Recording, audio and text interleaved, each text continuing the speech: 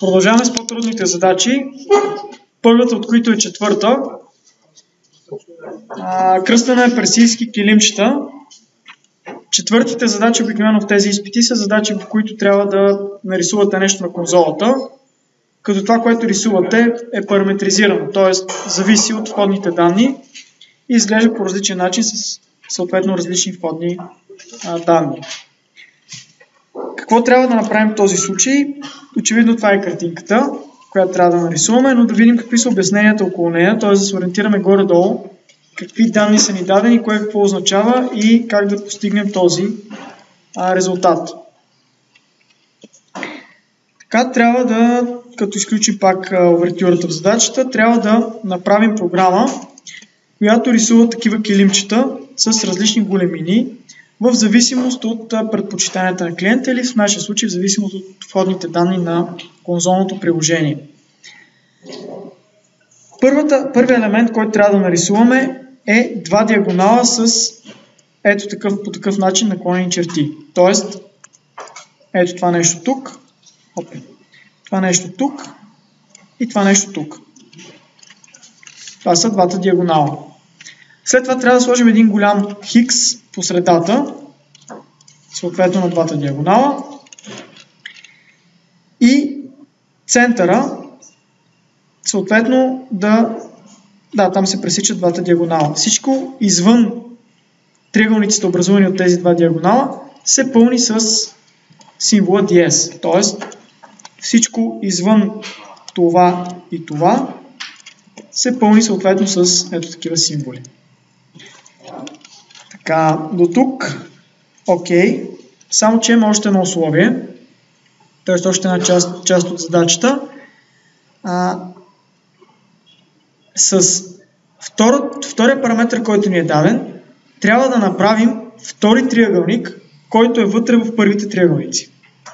Тоест, ето такъв втори триъгълник, който е вграден в първия триъгълник и разстоянието между първия и втория триъгълник е числото D. Тоест, броя символи, които тук са 2, е това число D. Тук броя символи между вътрешния и външния триъгълник е 0. Както виждате, те са долепени един до друг.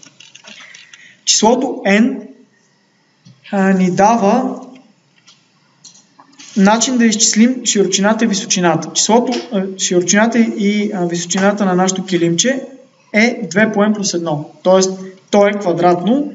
Самото число n ни дава височината на първата част, след това имаме плюс един ред средния и още веднъж n на брой пъти а, височината на втората част. Тук имаме 5, 1 и още 5. Тук имаме 3, 3 и 1, 7. Така, това са D и N и D може да бъде всякакво число, дори по-голямо от N. Тоест, както е дадено ето тук, разстоянието може да бъде повече от 6. Тук имаме височина 6, съответно разстоянието между вътрешния триъгълник и външния е 10. Тоест нямаме вътрешен триъгълник, тъй като някъде го сложим. Имаме и такива ситуации. Сега, задачката не е от най-лесните, които сме давали конкретно за четвърта задача, но може много, може да се реши сравнително лесно, ако самата фигура, която имаме да рисуваме, я разбием на части. И леко по леко започнем да си построяваме а, самото рисуване. Сега ясно е, че ние няма как да нарисуваме първо диагонала, после другия диагонал, после диезите, после това нещо. Трябва някакси, според това на кой ред се намираме, да рисуваме това, което има на реда. Тоест, трябва чрез, чрез сметки да знаем, че тук имаме един интервал, а че имаме един диез, че тук имаме два диеза, че тук имаме еди колко си интервала и така нататък. Тези неща трябва да ги а, смятаме. Но ще почнем леко по леко да построяваме задачата. Първо ще си построим, ще си нарисуваме диагоналчето, да видим как изглежда. След това ще почнем да пълним преди диагонала разни диезчета. След това ще напишем този средния ред. Друго, което можем да забележим в задачата е, че килимчето е симетрично. Тоест, тази част, която имаме в началото, ако я наречем първа част или горна част, е абсолютно същата като долната част. С тази разлика, че това, което е първи ред тук, е последен тук. И обратно. И другата разлика е, че тук по този начин са дадени чертичките, тук са наобратно. Нали? Не е първо наляво, тук е първо надясно. Тоест, ако ние успеем да нарисуваме първата част, после ще измислим как да я обърнем. Тоест, после намерените тук сметки, които сме направили, ще измислим как да ги завъртим, така че да получим абсолютно също, само че наопаки. Средния ред е елементарен за рисуване. Средния ред се рисува най-лесно. Значи, рисуваме първата част, рисуваме средния ред и след това обръщаме първата част наопаки, за да нарисуваме и а, третата или долната част от нашото килимче. А, така, преди да започнем, ще направим един проект, който ще кръстим персийски килимчета. Така.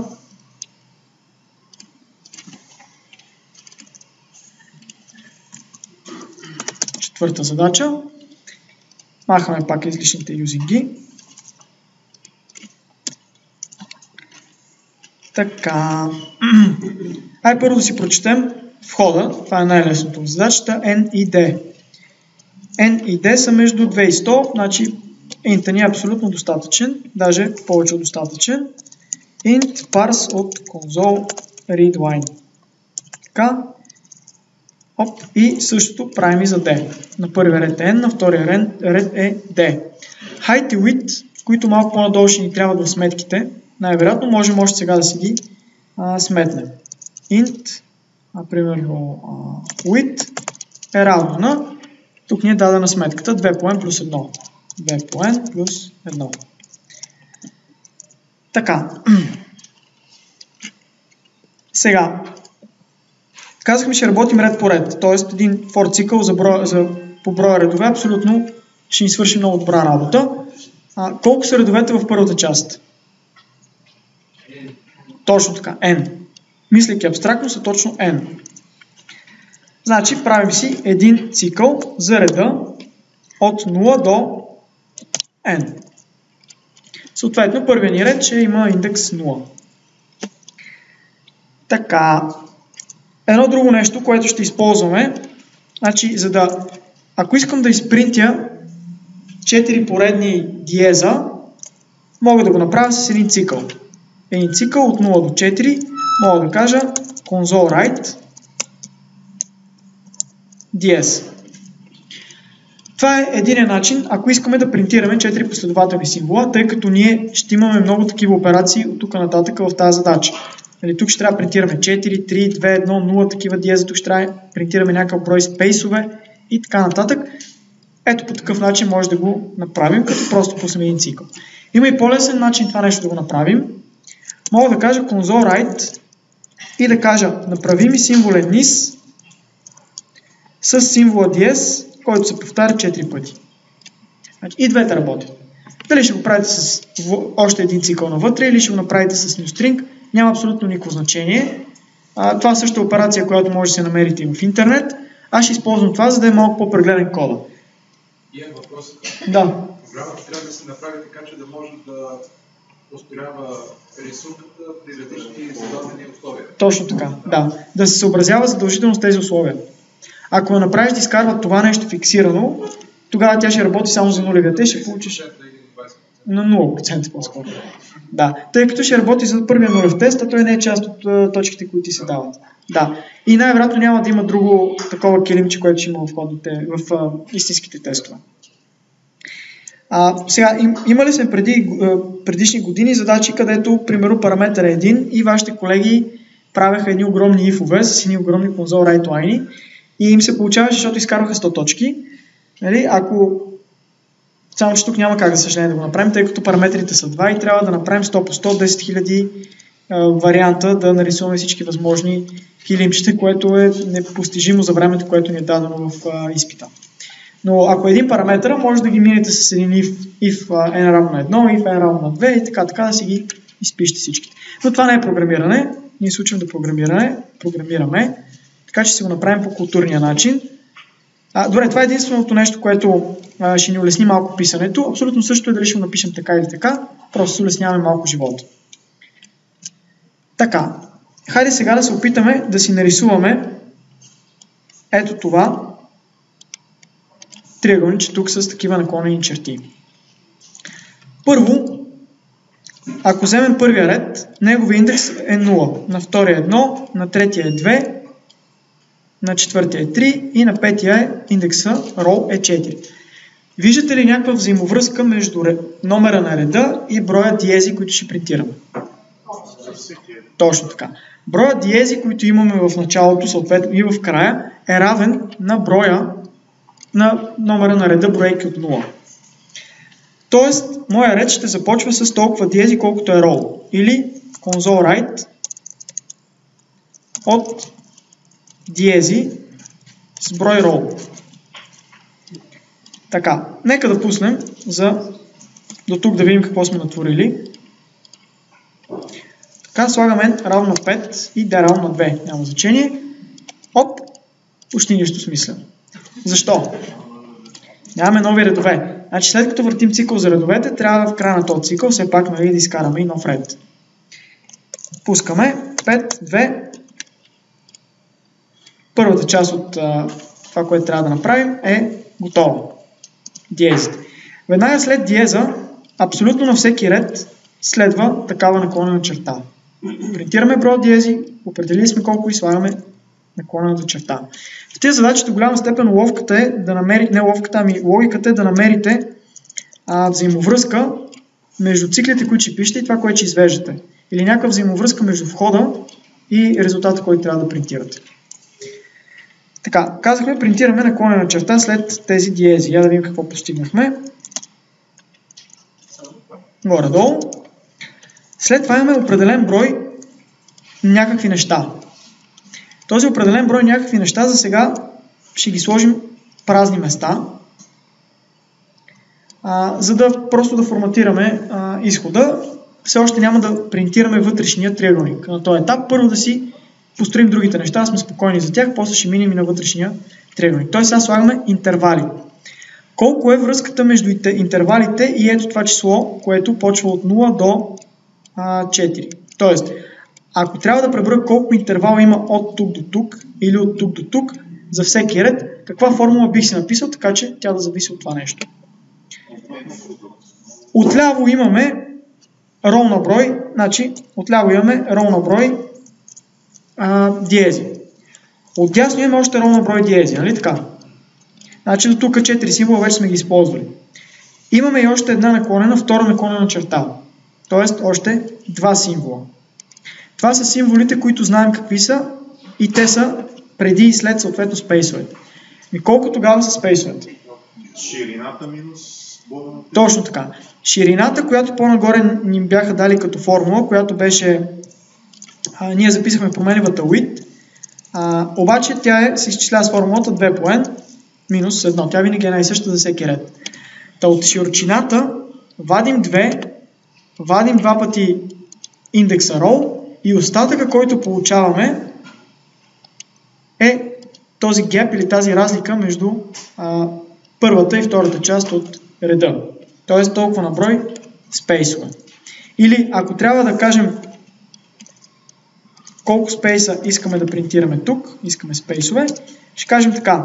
Широчината минус а, един път диезите, минус втори път диезите, минус един път едната наклонена черта, минус другата наклонена черта.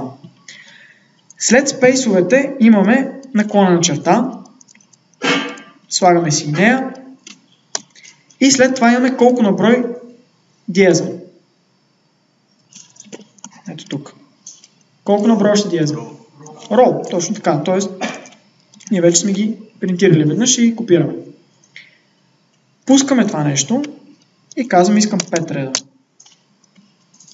Ако сме смятали всичко вярно, брой интервали, които е тук, трябва да съвпада с точната разлика между размера на колоните и разликата между това, което има отляво и това, което имаме от тясно. Така, следващото нещо, което трябва да направим, отново се абстрахираме от вътрешния триъгълник, средния ред. Как можем да направим средния ред? Колко диези имаме в средния ред преди хикс? n. Точно така. След това имаме хикс, очевидно. След това още n на брой диеза. Тоест, ако съм принтирал вече първата част, втората ми част е един път n на брой диези, така, плюс а, символа Хикс, плюс още n на брой диези. Пак ви казвам, това може и с вложени цикли да се напише. Примерно for n на брой пъти искам диез и принтирате, после принтирате Higgs console и после още веднъж console за другите диези. Така, я да видим сега при 5 дали е окей. При 5 всичко е супер. Хубаво е от време на време да проверяваме и при други стоености дали продължава да бъде супер. Примерно при 6.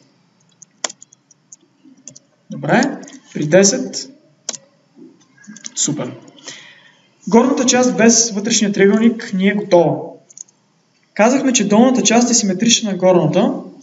Съответно, как бихме могли това нещо, което имаме тук, да го принтираме, като този ред стане първи, а този ред стане последен. Точно така. Да. Ще обърнем цикъл на обратно. Първо ще принтираме рол 4, след това рол 3, след това рол 2, след това рол 1 и след това рол 0. Ще получим абсолютно същия резултат, само ще трябва може би да обърнем и тези наклонени черти. Значи, ако вземем този същия цикъл и просто го пейснем, нали, ще получим ей това. Ние не искаме това, искаме го наобратно.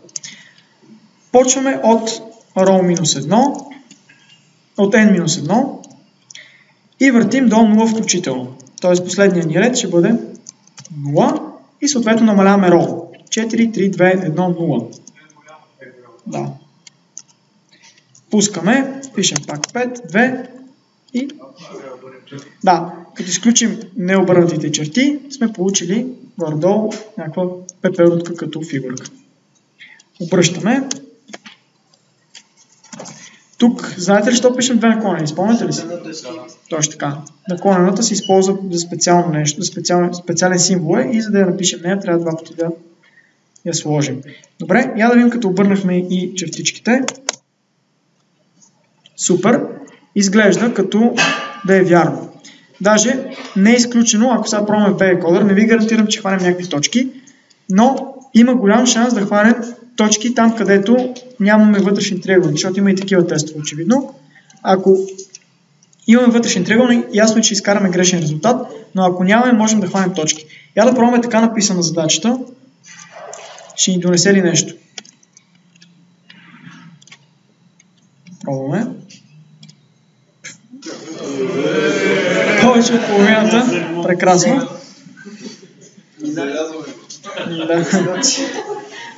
Достатъчно, като изкараме 100, тогава е достатъчно. Продължаваме сега с вътрешния триъгълник, който, спазвайки до сегашната логика, отново можем да си го а, сметнем горе-долу. А, казано ни е, че имаме d на брой интервала, разлика, дистанс между малки и големия триъгълник. Тоест, броя интервали, които имаме тук, е, е това число D. Тоест, ние знаем, че два от символите са заети вече с интервали. След това пишем нещо, каквото пишем, част от вътрешния триъгълник, каквото останало като място го запълваме и след това слагаме още два интервала. Сега, можем ли да си преценим колко интервала остават свободни, т.е. колко позиции остават свободни за рисуване на вътрешен триъгълник? Точно така. От уида вадим диезите, наклонената черта, още веднъж наклонената черта, диезите и два пъти по D спейсовете.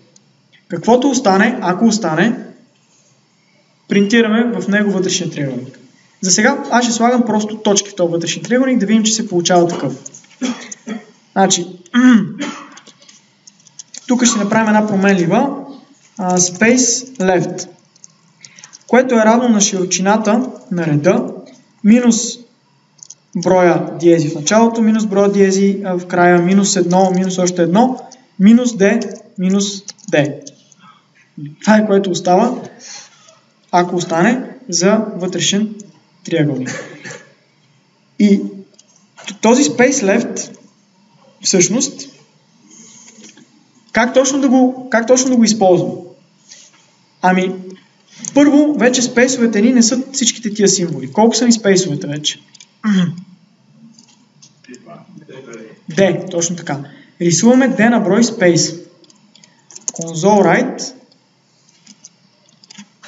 new string с space D на брой спейс. Това е дадено по условие.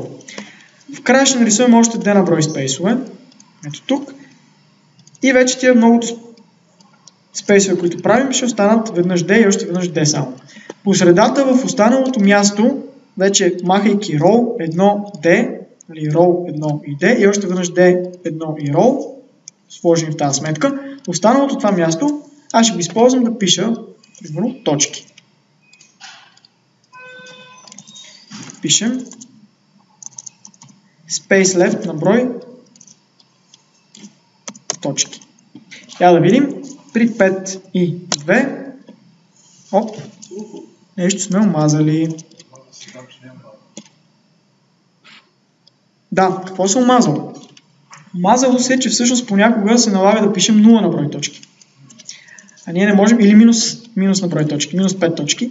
Няма как да пишем минус на брой точки. Така че ние точки ще пишем само когато space left е по-голямо от 0, когато има какво да пишем всъщност тъй като на този оператор newString въобще не му харесва да му даваме параметри, които са отрицателни. Нали, това, това всъщност а, ни даде като грешка. Моля?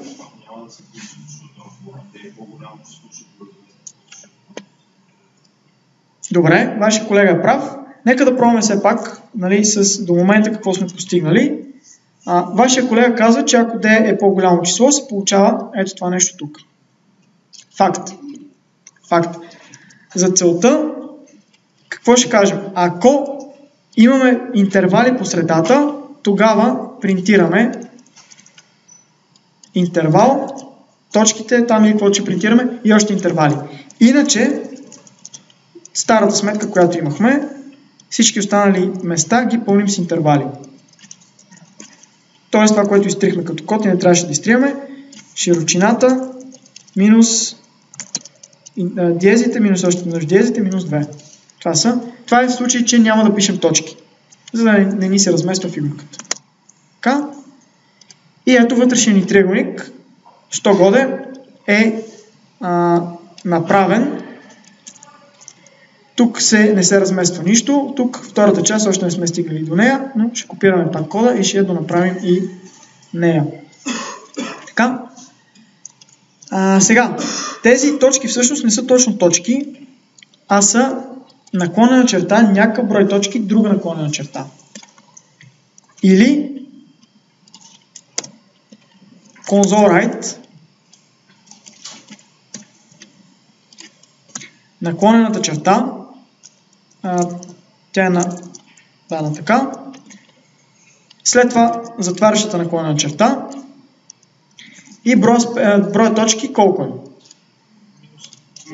Минус 2, да, тъй като ние преди бяхме заделили толкова на брой за всичките неща, само че вече вкараме един символ задължителен в началото, един символ, символ задължителен а, в а, края. Добре, и само още едно последно нещо ще ни остане, но да пробваме до момента какво сме направили.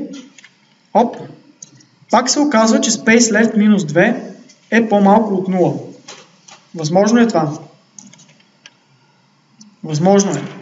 Тъй като ние проверяваме дали space left е по-голямо от 0. Ако space left е 1 обаче, като ми извадим 2, минус 1 става и пак не е окей. Okay. Така че space left трябва да е поне два символа, всъщност и два, сега ще пробваме, два или повече символа и вече нямаме този проблем с рисуването на отрицателен брой точки. Един граничен случай, който може да сме изпуснали, е случая, при който тук имаме две наклонени. Също има ли такъв случай? Я да пробваме. Ще пробваме с 5 и 3. Ще пробваме с, оп, с 5 и 1. Оп, не натиснахме 1. 5 и 1. Добре. С 5 и 0. Явно няма как да имаме четен брой space лефтове. Няма как да имаме четен брой, защото нали, 2 по n винаги е четно число, а плюс 1 винаги е нечетно. Така че, вадейки от нечетния wit, ние винаги вадим четно число. Вярно ли е това? Вадим два пъти, за едно представете се, ако изкараме пред скоби, вадим два пъти а, row плюс 1 плюс d. И от четното число вадим друго четно число, space left винаги ще е четно число. Тоест space left ще е 2, 4, 6, 8, 0 и така нататък, минус 2. Добре, значи всичко е окей, няма да имаме някакъв специален граничен случай. И остана само това нещо да го препишем в долната част, така че този триъгълник, така нарисуван тук, да се завърти и да дойде съответно ето тук. А, тъй като аз не си спомням по-точно променихме в кода, ще приложа пак големия copy-paste и ще сменим само пейста на втория цикъл. Ще сменим цикъла да започва от n-1 до 0 включително. Ще го направим минус-минус. Ако не сменим стрелките, нали, като тестваме, ще видим, че са наобратно. Ще ги сменим и а, тези символи. Така. И вече би трябвало, ако не сме оплескали нещо друго, задачата да работи коректно. Тестваме с 3, 0 и 6 и 10. 3 и 0. И 6 и 10. Какво направихме? Оп, а да, отворихме другата задачка, не ще затворим. Така, 6 и 10, 6 и 10. Така, и изглежда, че работи коректно. За да сме абсолютно сигурни, че работи коректно, пускаме в BG. Така. И вече трябва, ако всичко е окей, да изкараме не 55, а 100 точки от тази задачка. Супер. Някакви въпроси имате ли по нея? Кое е условието, което при 6 и 10 да драска вътрешния триъгълник? При 6 и 10 не му достигат символи, тъй като тук му е казано, че разстоянието между външния и вътрешният съответно триъгълник ще е 10 символа. Тоест тук трябва да имаш 10, тук трябва да имаш 10 и тук трябва да имаш вътрешен триъгълник. Само, че... Но цялото е 6, значи няма. Да, тук ти е 6 по 2, тук имаш 13 символа, или 6 по 2 плюс 1. Вече си използвал 2, остават ти 11. Ти те първо искаш от ти 11, два пъти по 10 и трябва дясно да сложиш като интервали. Просто няма да, няма да се събере. Да. Добре, други въпроси?